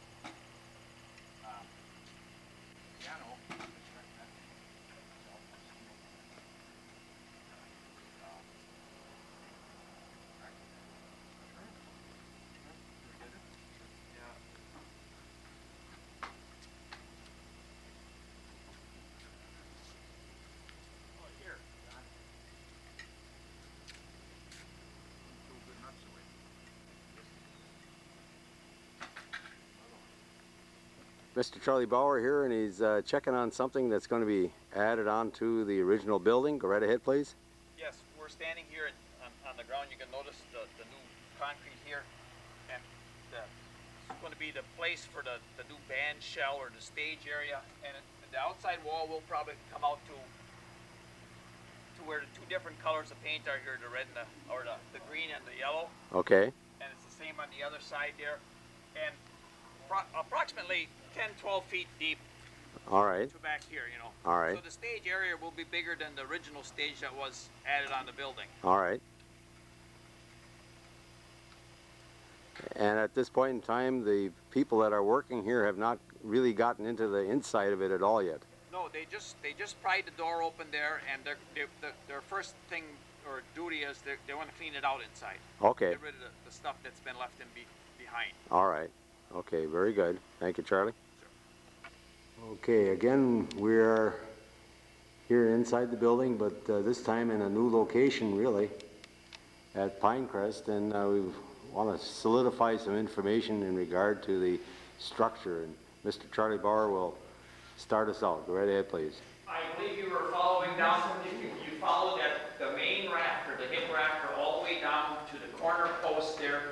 You can see where the rafter sits on top of the the, the, the top plate there on Yes. the wall. Okay. You follow that back now, and then you see on, on each one of the octagon faces of that, that center post there, Yeah. the bottom brace will come out more than halfway down on that hip rafter. Okay. And the, the smaller braces there also catch the common rafter.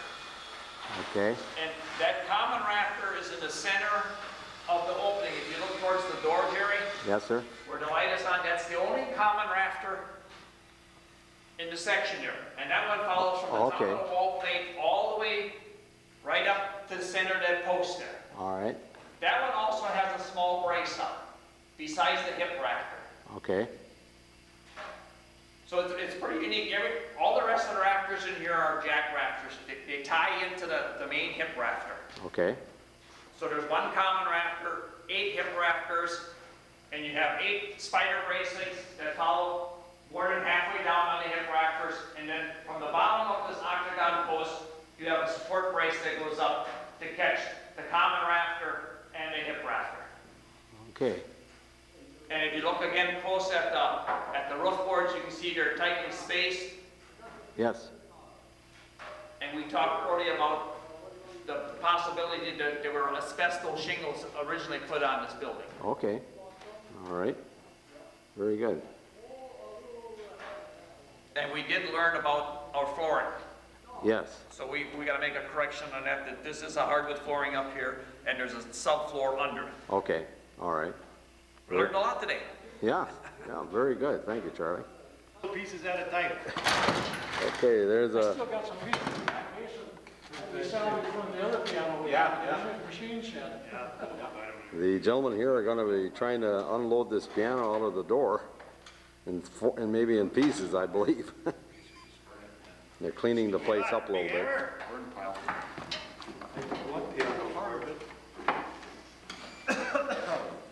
Needs a wrecking bar, they got the. Yeah, gotta get the wrecking bar up here. This is the roof on top. Yeah. Yeah, here's a big hammer. Yeah. Is there a name on that piano at all? Anybody see anything? Yeah, it's S- S.W. Miller, Oh yeah. Chicago and Sheboygan. Really? Save the nameplate. Yeah, that'd be a good idea. That'd be great. Oh, that, is that the front of the piano? Look at how fancy this is. That's right. the front? That's right. Yeah. So it got wet, you know, that roof. Huh? They said it's too bad it got wet, 'cause that roof Yeah. was big. You want to knock it apart a little before? Before we Yeah, try to take toss it apart, out. Yeah, I think so. That's what it is. Two by tens are pretty hard to. Yeah, yeah, that, that will have to. Okay, the slope.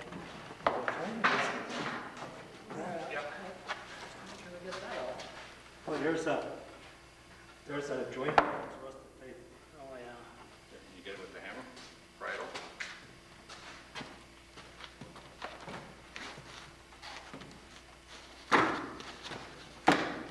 We wrote this, and we have to. Hey, there was, there was some wood in those things.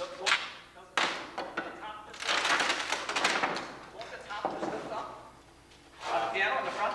Yep.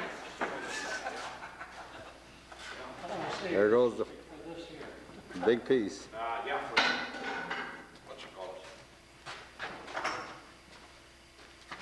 Oh, you got Is a it- warranty up there too. Is there a warranty up there?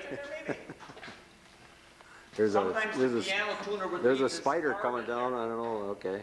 Oh, just catch that. Anything, can you read anything off of that at all? Said this instrument manufactured by us. Doesn't say any year. though. Does it? What's on the enter? It's a lion's face. Uh-huh, okay. Off the top gun. This is the heavy part. Yeah.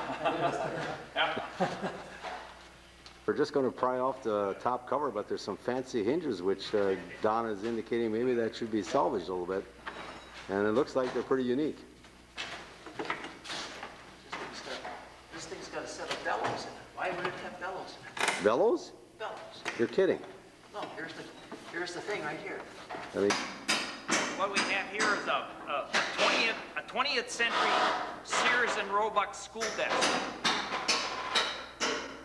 This, this is- I would say is a bonus besides the, the free dance hall. They got, they got a school desk to put into their school. yeah. Yeah, the seat's missing. It has its place here for the inkwell. Made, whole thing is made to take apart without breaking it. Okay, this is a coolerator refrigerator. Nice mechanism business. It- it- This is not a typical piano.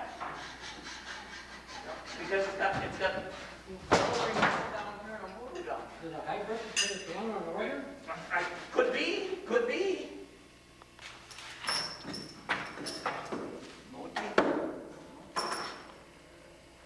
Do not confuse our piano with the Boston Miller. Oh, different Miller, huh? And that was in, made in Sheboygan? It says here, It's right there on, on, on the sounding board back here, here. right here. Probably. This is what's inside the piano. Okay.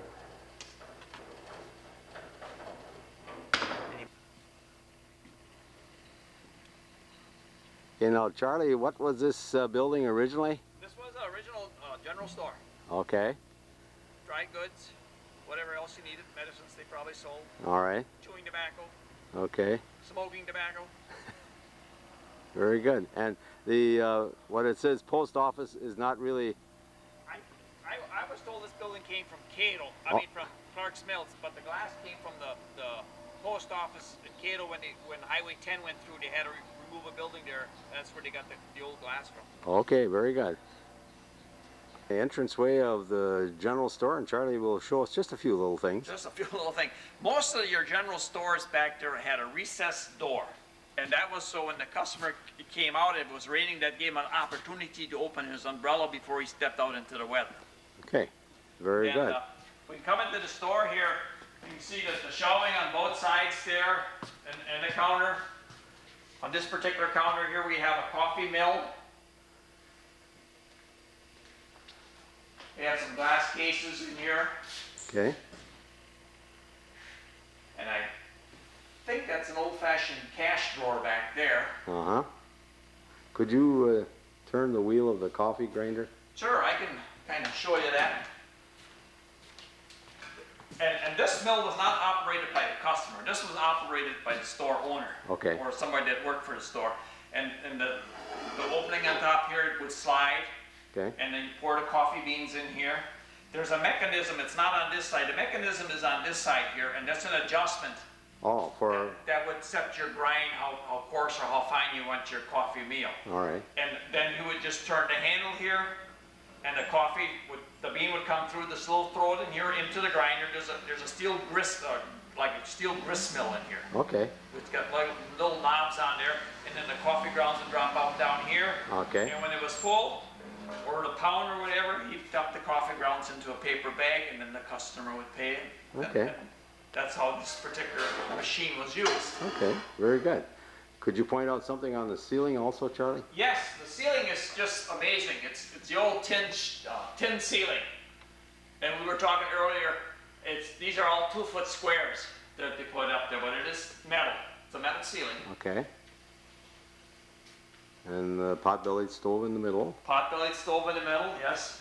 And another thing that was used, which is quite unique, is this old, uh, this little old guillotine shaped thing here.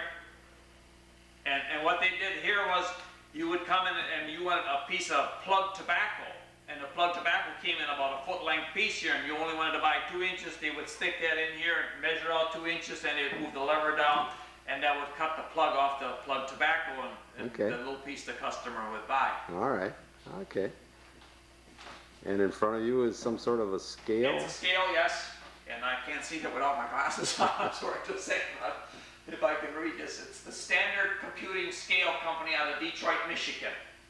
And on here, the, the, the, the, the reading in here, if you were selling something for 10 cents a pound or 20 cents a pound, it, it does the calculation for you. Okay. It's the forerunner of a computer one. Ah, there you go, there you go, thank you.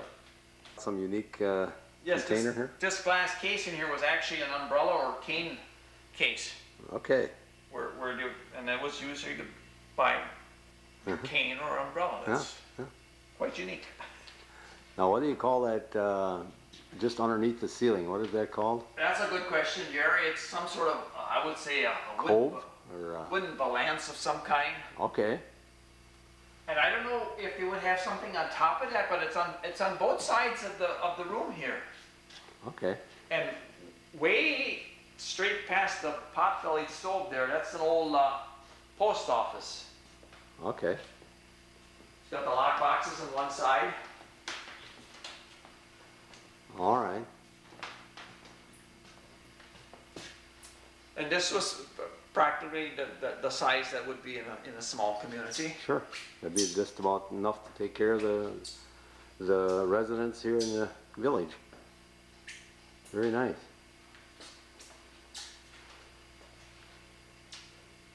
This is the, this is a picture here, Jerry. Maybe I should bring it out in this is,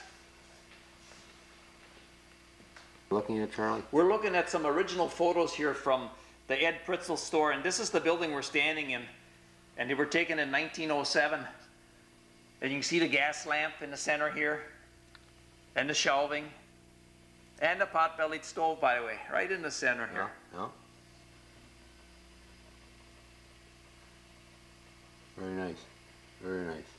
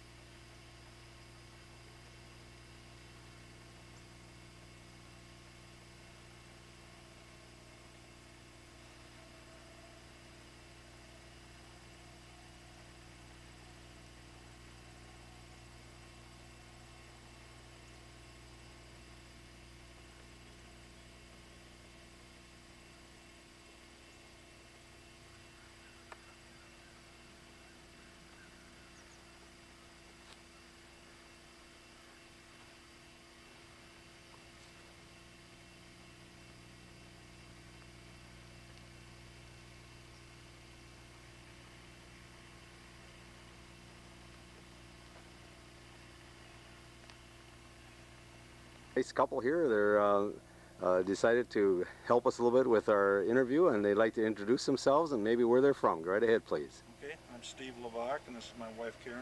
Hi, from Karen. Mankato, Minnesota. Okay. We arrived here last Saturday, and we're staying at Fox Hills Resort, All right. and we're leaving tomorrow, returning back home. But we're just here on vacation, Wonderful. and we found a brochure for this place, and that's what led us to come here. and looked interesting, and Wonderful. it is interesting. Good. Oh, I'm glad to hear that. Just trying to learn a little local history. Okay. And there's a lot of history out here. Yeah, I think so. Yes. And ma'am, uh, what kind of uh, occupation would you I'm have? self-employed. You're self-employed. Drywall, drywall construction. Okay. She does, she works for Carlson Craft there, they're a big printing outfit. Okay. Mankato. All right. She does work there. All right. She's been there for twenty-five years. Whoa. Very good. And you've been in business for a long time also? I've- Yes, about thirty-three years now, Oh my goodness. Very good. doing drywall. Very good. Well, I'm uh, happy you uh, came out this way and enjoy the, the fine weather we're having here. It's not usually that great, but uh, this turned out pretty nice for you. And I do thank you so much for taking the time. Which was the most interesting? Mr. Bauer has uh, asked the question. Go right ahead, sir. Yeah, I was just wondering, which, which building did you find the most fascinating out here? Unique or, or something eye-catching? Myself is the, s- I think it's the Sorensen House. Oh, the Sorensen House, yes, yes. Okay. Is that, so- is that the right one? Yep. One with the upstairs? The upstairs, that one over there. Yeah, I think Okay. that one. Yeah. That's I'm- interesting. I'm going to see if I can come around and uh, have it in the background It's, for you. it's the one with the yellow trim down there, Jerry. Oh, okay. Very good. Right, yeah. Yeah. Yeah, it's almost kind of like it's ahead of its time a little bit. Like structure, you know. Yeah? With them being from, I think it was Denmark. Y- Right, right, yeah, yeah. yeah, yeah, yeah. That was my choice. Okay. Did you look behind the door in the bank and see the bullet holes in the wall that are plugged? No, that I didn't. I say. Maybe that would, we'll have to backtrack. Okay. Well, I do again. Uh, thank you very much for taking the time to talk to us, and uh, we'll have this on our uh, Pinecrest uh, historical uh, video then. Oh, Thank okay. you. Very good. All right. Pinecrest, and he noticed something about this particular wagon. Yeah, first of all, it's a pretty old wagon because it's got the wooden hubs yet. Okay. Wooden spokes. You can see the steel thimble on the end of that of the wood axle right here. Ah, yeah. This is a steel thimble, and the, the hub itself is wooden. It would just slide on. It's held on by a big square nut on this end here. Okay. So it's on a taper, is that right? It's on a taper, right? right. All right. And this is uh, used for hauling road gravel. These are gravel, what they call gravel planks in here. Okay. And what do they do with the planks then, I Charlie? believe they, they just turn them up on edge like that, and that will let the gravel flow in between. Okay. Okay, and then it drop right. horses. It would drop right through the middle there. Right through the middle, right. Yep, yep. Okay. Okay. Very good. Total spoke wheel, huh? One, two, three, four, five, six, seven, eight, nine, ten, eleven, twelve. Yep. Okay. Very good.